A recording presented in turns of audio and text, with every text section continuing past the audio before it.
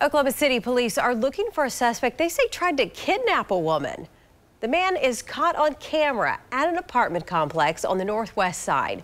Police tell News 9's crime tracker Jennifer Pierce they need to catch the suspect before he strikes again.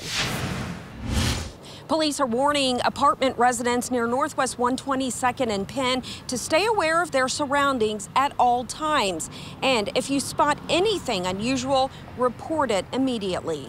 It's dark, it's early in the morning. Police released this video from last week at the Indigo Apartments after a 23 year old woman was nearly abducted.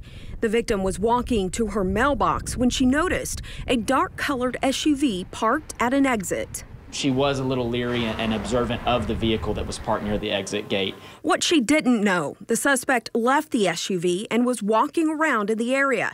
He came back into the camera's view and followed the victim out of the camera's sight.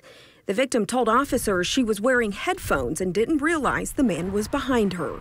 At some point, uh, an unknown person came up from behind the victim, uh, placed their hand around the victim's neck. The woman reported the suspect told her she was going to get in his car.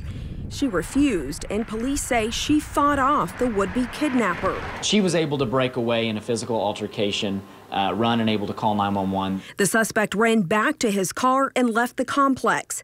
Police think he could try again. We want to get people talking about it. We want to ultimately take this person off the street before the opportunity arises again for the suspect.